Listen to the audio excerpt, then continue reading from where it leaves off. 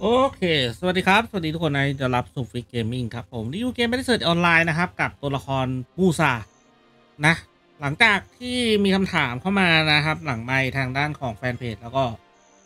มีถามใน Discord ด้วยนะครับ เกี่ยวกับเรื่องการ PVP ของมูซานะฮะอันนี้ผมจะมาทำเป็นคลิปให้เลยละกันนะครับ แต่ก็ต้องบอกก่อนเลยว่าที่ผมจะสอนเนี่ย มันเป็นสิ่งที่ผมทำแล้วก็ใช้อยู่ทุกวันนะครับ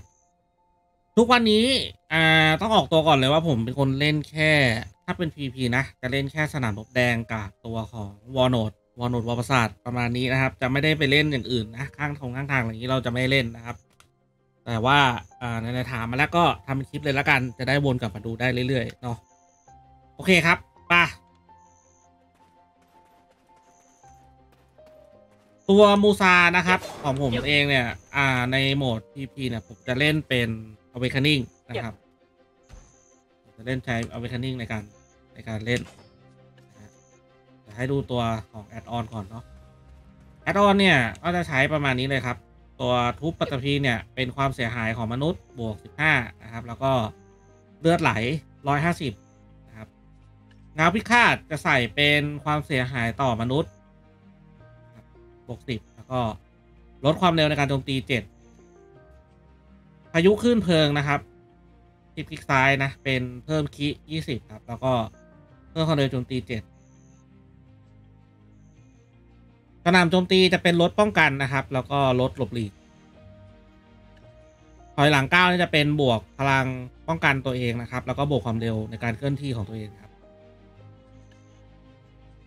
ขับไล่ความอำมหิตนะครับ เป็นบวกแม่นยำแล้วก็ลดหลบหลีกของฝ่ายตรงข้ามประมาณนี้อันนี้คือ add-on เนาะ ส่วน skill เบนที่เราใช้นะครับ ผมก็จะใช้เป็นเงาพิฆาตเป็นเพิ่มอ่า super armor ให้กับเงาพิฆาต โอเค ประมาณนี้นะครับที่เราต้องรู้ อะ เดี๋ยวผมจะให้ดู pattern ก่อนนะครับ ที่ผมใช้เป็นประจำประจำนะครับสำหรับการเล่น combo PVP นะ pattern มันจะมีด้วยกันประมาณนี้ครับ ถ้าสมมุติว่าเรา CC ไปแล้วนะ pattern จะเป็น Shift คลิกซ้าย A คลิกขวา นะครับผมขึ้น E F ครับ F เสร็จแล้ว อ่า SF ชิป F แล้วก็ F ค้างอันนี้คือแพทเทิร์นนะที่ผมใช้นะครับแพทเทิร์นที่ผมใช้ คราวนี้เราจะมาดูกันว่า CC แรกเนี่ย เราจะใช้เป็น CC อะไร เอ่อยกตัวอย่างการ CC เนาะแต่ละคนน่าจะเข้าใจเรื่องระบบ CC แล้วแต่เดี๋ยวผมพูดแบบ พูดเร็วๆนะครับ พูดเร็วๆไปก่อนเราแบบสั้นๆนะครับ CC เนี่ยเราจะสามารถใช้ CC หลักได้แค่สองครั้งเท่านั้นนะครับ แล้วมันจะติดสถานะป้องกันการติด CC นะครับ เป็นเวลาห้าวิทำให้ดูก่อนที่หนึ่งนะก็สองครับมันจะขึ้นอิมมูนครับอันนี้เรามันจะไม่ติดซีซีนะเป็นเป็นระยะเวลาห้าวินะครับ โอเค แต่ว่าถ้าเกิดว่าเราใช้เป็น skill CC ที่เป็น 0.7 นะครับ ได้แก่พวกช็อคหรือ knockback เนี่ย มันจะขึ้น 0.7 เราจะสามารถใช้ซีซีต่อได้อีก2ซีซีนั่นก็จะกลายเป็น 2.7 นะครับ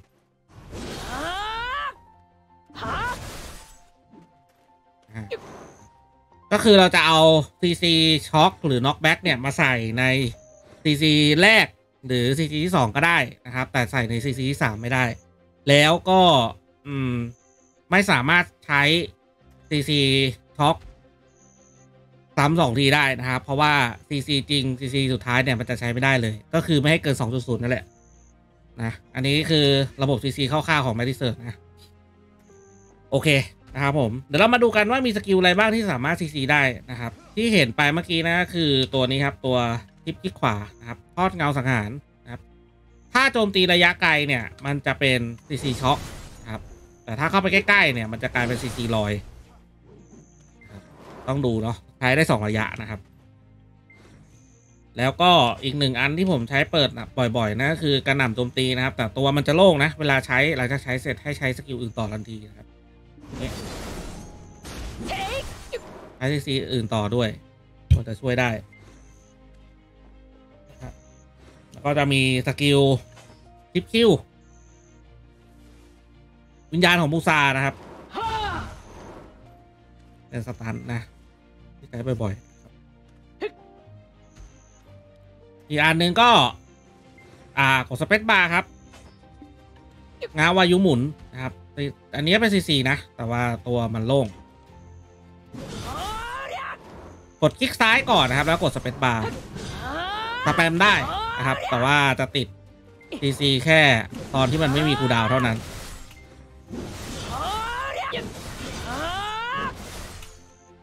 ใช้เป็น skill spam ได้ ส่วนตัวเงาพิฆาตเนี่ย ผมแนะนำว่าเอาให้มันอยู่เป็น CT2 ก็ได้นะครับ หรือจังหวะเอาไว้ดัก เอาไว้ดักโจมตีเป็น CT แรกได้อยู่ครับส่วนตัวผมเนี่ยผมจะใช้เป็น CT2 ครับเพราะว่าเอาตรงๆงาพิฆาตถ้าเกิดมือใหม่เล่นอะ อ่าสกิลมันค่อนข้างใช้แล้วก็คุมลำบากนิดนึงโอเคฝั่ง Awakening จบไปแล้วนะครับ เดี๋ยวเรามาดูฝั่ง p a w กันนะครับ หรือฝั่งอาวุธหลัก อาวุธหลักที่ผมใช้เนี่ย มันจะมีอยู่ด้วยกันแค่สามอันสี่อันนะครับ ที่เป็น CC แต่ที่ใช้จริงจะมีอยู่แค่สาม skill เท่านั้นนั่นก็คือตระกูลธนูทั้งหลายแหล่ครับหนึ่งนะ แล้วก็ อ่าตัวนี้ดาบแกะสลัก นะครับ นักรบตาบอดแล้วก็ตัวดาบทะลวง ที่ผมใช้หลักๆ จะมีแค่ธนูกับดาบทะลวงนะครับ ดาบแกะสลักเนี่ยใช้บ้างเพราะว่ามันเป็นมันเป็นซีซีระยะไกลแล้วก็เป็นเซอร์ไพรส์นะครับ แต่ว่าตัวมันโล่งถ้าใช้ไปตัวตัวมันโล่งผมก็จะไม่ค่อยได้อะไรกับมันมากหรอกส่วนใหญ่ถ้าเกิดใช้จริงๆก็จะเป็นแบบยิงธนูให้ติดช็อคก่อนนะครับ แล้วก็ dash เข้าไปจิ้มก็ซีซีต่อ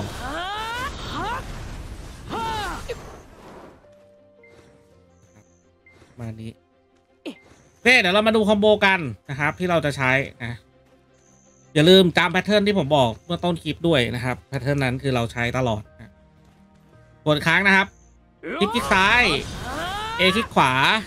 B คลิกขวาก็ได้นะครับหลังจากนั้นกดขึ้น E F S F คลิก F แล้วก็ F ค้างนะครับเราใช้อันนี้ตลอด ถ้าเกิดว่าเป้าหมายอยู่คนเดียวแล้วติดซีจีไปแล้วนะครับ คนหรือสองคนอะไรพวกนี้ใช้ได้เลยโอเค วิธีเปิดก็จะมีอ่าถ้าฝั่งอเวกเนี่ยผมจะเปิดได้กันอยู่สองท่านะครับ ก็จะเปิดเป็นท่านี้นะครับท่าทอดเงา เปิดด้วยทอดเงาเอาครับ อันที่หนึ่งนะทอดเงาท่าที่สองเนี่ย ผมก็จะเปิดด้วย กระหน่ำโจมตีแหละ แต่ว่ากระหน่ำโจมตีเนี่ยเราจะใช้เป็นเหมือนเราต้องมั่นใจจริงๆว่าเขาจะไม่ซีซีเราสวนมาเพราะตัวมันโล่ง แล้วก็ตัวกระหน่ำโจมตีถ้าเกิดว่าเป็นเวอร์ชันปกตินะครับ เป็นเวอร์ชันปกติ ระยะนี้นะครับจะยังโดนอยู่ แต่ถ้าเกิดเป็นเวอร์ชั่นของผู้ดำสิบเปอร์เซ็นต์นะไม่ดูเวอร์ชันสิบเปอร์เซ็นต์เนี่ยระยะสิบเปอร์เซ็นต์นะครับ ระยะกว้างกว่านะครับ แต่ว่าโอกาสติดทีทีเนี่ย น่าจะใช้ได้ระยะพอๆกัน เพิ่มระยะขึ้นมานิดนึงอะอันนี้ไม่ติดทีทีนะถ้ายืนบนนี้นะ ไม่ติดทีทีแล้วแต่เดี๋ยวดูเลยเวอร์ชันผู้ดำนะจะเพิ่มระยะขึ้นมาอีกประมาณอ่าม้าตัวหนึ่งอะนะครับ เพิ่มมาระยะม้าตัวหนึ่ง อันนี้เราจะใช้ยังไงล่ะ ให้มันแบบว่าได้ผลที่มากที่สุดนะครับ ผมก็จะหลอกใช้สกิลอื่นไปก่อนครับอออาจจะวิ่งไปกดครับ แล้วก็ถอยมากระหน่ำโจมตีนะแล้วก็แล้วก็ปาดหมุนปึ๊บใช้สกิลอื่นไปก่อนดักเขานะฮะอีกหนึ่งการก็คือ shift Q นะครับ shift Q เนี่ยอ่ามันส่วนตัวผมเป็นคนไม่ค่อยได้ใช้แต่เท่าไหร่นะครับ เพราะว่าเอาจริงอืมมันไม่ค่อยมีโอกาสได้ใช้อะ่ะ เพราะถ้าเข้าไปกดเนี่ยโอกาสตายก็สูงเหมือนกันนะครับ แต่ถ้าหลอกหลอกใช้ได้นะครับยึบนี่นะแดดเลยไปข้างหลังก็ได้นะครับ กรณีที่เขามีฟอนต์การ์ดเยอะนะครับแดดเลยไปข้างหลังแล้วก็กด เพราะระยะมันค่อนข้างไกลอยู่นะครับ ระยะมันค่อนข้างไกลนะครับหลอกได้ ระยะมันน่าจะประมาณนี้เลย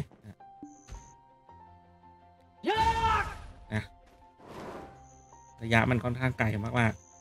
ๆ อันนี้เป็นหนึ่งสกิลเปิดนะ โอเค ก็จบไปนะครับ ทางฝั่งของ Awakening นะส่วนง้าวพายุหมุนนะครับอ๋ออันนี้เป็นที่ผมเจอบ่อย ๆ นะครับ คือช่วงนี้มันจะมีคนที่เขาใส่เป็น อ่าทำบิวเป็นสถานะการสลบเยอะนะครับ การการสลบร้อยเปอร์เซ็นต์เพราะนั้นเวลาถ้าสมมุติว่าเรากด F นะครับ ใช้ง้าวพิฆาตแล้วแล้วเขาไม่ล้มเนี่ย ให้กด spacebar ต่อทันทีมันจะกลายเป็นนี่ครับ ตัวง้าววายุหมุนนะฮะนี่ครับมันจะกลายเป็นสถานะลอยทันทีนะครับ จะกลายเป็นสถานะลอยทันทีทำให้เขาติดซีซีด้วยนะกรณีที่ถ้าเกิดว่าคนนั้นเขาไม่ได้เอ่อกรณีที่เขาบิวเป็นการสลบมาเนาะลองดูแล้วกันนะครับ อันนี้เอาไว้แก้ เคเดี๋ยวเรามาดูท่าเปิดของฝั่ง p ี o กันนะครับ ที่ผมใช้ครับ ผมจะเปิดอยู่แค่ไม่กี่ท่าหรอกนะครับ ก็จะเปิดประมาณนี้ อ่า ยิงธนูก่อนนะครับ อันดับแรกครับแล้วก็แดนเข้าไป ลงคลิกซ้ายนะครับ เป็นท่าดาบทะลวงท่านี้เนาะอะรู้ไหมฮะ ยิงธนูปุ๊บ dash แล้วก็คอมโบปึ้งได้เลยครับ แต่การเปิดแบบนี้มันโอกาสที่เราจะโดนสวนก็ค่อนข้างเยอะอยู่นะ อันนี้เอาไว้เปิดแบบว่าเอาไว้ยิงเซอร์ไพรส์เอาเฉยๆได้อยู่ต่อด้วยคอมโบเลย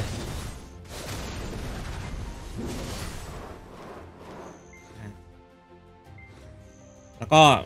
แต่ส่วนใหญ่เราจะเปิดอะเราจะเปิดด้วยนี่แหละนะครับ เปิดด้วยธนู แต่ถ้าเกิดเราไม่เปิดธนูก็ได้นะครับสำหรับแบบอาจจะตั้งโล่เงี้ย แล้วก็รอนะครับ ถ้าเกิดว่าเขาตามเข้ามานะครับ ถ้าสมมติว่าเขาตามเข้ามาใช่ไหมเราก็ ลงคลิกซ้ายเลยก็ได้สตันนะครับ หรือว่าถ้าสมมติว่ามันแบบอารมณ์ประมาณนี้นะครับ แล้ว เหมือนเขายึกยักหรือจังหวะเขาเมือเนี่ยคลิกคลิกซ้ายไปเลยนะครับนี่คลิกคลิกซ้ายไปเลย ได้เหมือนกันนะครับ ใช้ดาบการสลับ จริง ๆ มันมีอีกสกิลหนึ่งแต่ว่าผมไม่ค่อยได้ใช้นะครับนั่นก็คือตัวดอกไม้ผีบาทนะครับตัวนี้ ตัวนี้ก็เป็นซีซีเหมือนกัน แต่ผมไม่ค่อยได้ใช้อะ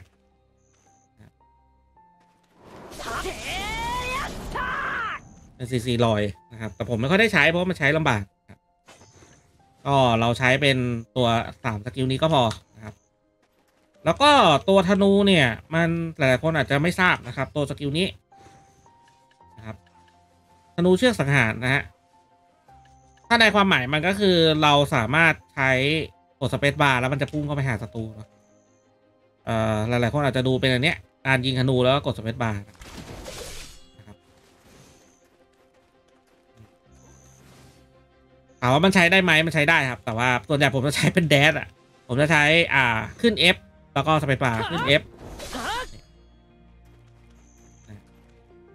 ใช้เป็นการแบบเคลื่อนที่ของภาค p ีเอเวกซะส่วนใหญ่ จะเป็นประมาณนี้ ให้ดูอีกทีปึ๊บ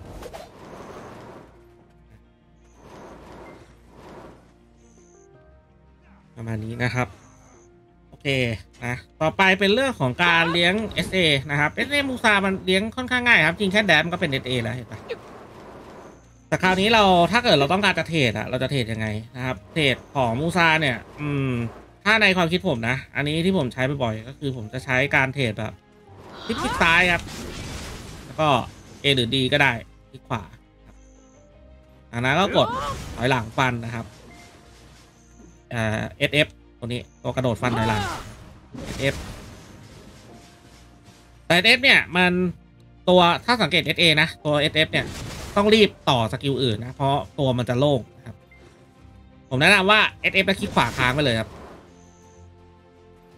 จะดีกว่านะอย่าปล่อยแบบกระโดด SF ไปแล้วยืนนิ่งนะ ตัวโล่งเด้อจะโดนสวนเอาได้นะครับ อันนี้ต้องระวังนิดนึง ส่วนตัว SA อีกอันหนึ่งที่ใช้เทรดได้ก็คือ A หรือ D คลิกซ้ายก็ได้นะครับตัวนี้ นานเหมือนกัน SA นะฮะ A หรือ D คลิกขวาก็นานเหมือนกัน ตัวง้าวพิฆาตหรือสกิล F เนี่ย มันจะไม่ค่อยนานแต่มันจะใช้ได้หลายกรณีนะครับ เดี๋ยวสมมติว่าถ้าเราใช้แล้วรู้เราไม่มั่นใจว่าเขาจะวิ่งสวนหรือหลบเรามาข้างหลังหรือเปล่านะครับ ให้ใช้กดง้าวพิฆาตนะครับ แล้วก็ F อ่ากด control เรียกเมาส์มา แล้วก็กดจิ้มลงไปข้างหลังตัวเราเป็นงี้นี่นะครับ จากแต่ตอนแรกเนี่ย อ่าตัว Impact มันจะไปลงตรงนู้นพอดีนะครับจะไปลงด้านหน้าเราจะกลับกลายเป็นว่าเราจะหันหน้ามาตีลงที่เราอยู่นี่นะครับใช้ได้ทุกทิศเลยนะครับ ใช้เมาส์แต่ตรงนี้เราอาจจะต้องไปหัดหน่อยนะ อาจจะต้องไปหัดหน่อยครับ แล้วก็ตัวของ mouse control เนี่ยยังสามารถใช้ได้อีก2สกิลนั่นก็คือ1สกิลขึ้น F ท่านี้นะครับขึ้นความร้อนนะฮะขึ้นความร้อนเนี่ยเราสามารถใช้ mouse control ได้ ไม่ให้ไม่ให้มันวิ่งขึ้นไปเหมือนเอาไว้หลอกอะหลอกว่าจะพุ่งแต่ว่าไม่ได้พุ่งนะครับ ผมก็จะพุ่งอย่างเงี้ยแล้วก็ใช้สกิลอื่นแทนอีกหนึ่งสกิลที่สำคัญมากๆนั่นก็คือสกิลชิป F ครับชิป F แล้วก็ F ค้างเราสามารถใช้ mouse control ในการคุม front guard ได้เนาะเนื่องจากตัวของสกิลมันเองเนี่ยมันจะมี front guard นะครับ ทั้งสองตัวเลยนะจะมี front guard นะครับเอ่อแต่ด้วยแอนิเมชันที่มันนานนะครับแอนิเมชันที่มันค่อนข้างนาน มันจะทำให้เราคุม front guard ไม่ค่อยได้นะครับ ตรงเนี้ย mouse control จะมาช่วยนะเดี๋ยวเรารอ cooldown แป๊บหนึ่ง mouse control จะมาช่วยให้เราสามารถเลือกได้นะครับ อย่างยกตัวอย่างนะครับ ยกตัวอย่างสมมติว่าเขาอยู่ตรงเนี้ยใช่ไหมแล้วผมใช้ ผมใช้ชิป F ไปนะครับ แล้วเขาหลบมาฝั่งของตัวเนี้ย ผมก็จะกดเอา mouse control เนี่ยแล้วก็มาจิ้มตรงนี้เลยทำให้ดูกรณีจิ้มไปแล้วนะครับปึ๊บนะหรือแม้แต่ทำได้แม้แต่กระทั่งเขา หมุนเหมือนขยับต่อเราก็หมุนเมาส์ตามไปเลยเอาเมาส์จี้ตามไปเลยนะครับจะเป็นประมาณนี้นะครับปึ๊บนะหมุนได้แทบตลอดนะครับจนกว่าสกิลจะออกเป็นคลื่นออกไปนะครับอันนี้ต้องไปฝึกใช้นะส่วนตัวผมใช้เวลาฝึกก็ไม่นานหรอกแต่ว่าคุมยากอยู่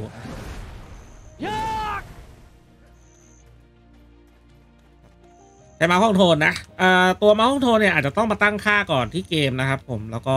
ตั้งค่าแล้วก็ตั้งค่าหน้าตา interface ครับมาที่เมาส์นะฮะเลื่อนลงมาล่าสุดจะมีให้ติ๊ก mouse control นะวน A เนี่ย ผมก็จะวนประมาณนี้อ่าคลิกคลิกซ้ายครับ A หรือ D คลิกขวา แล้วก็หมุนต่อ A หรือ D คลิกซ้ายปึ๊บ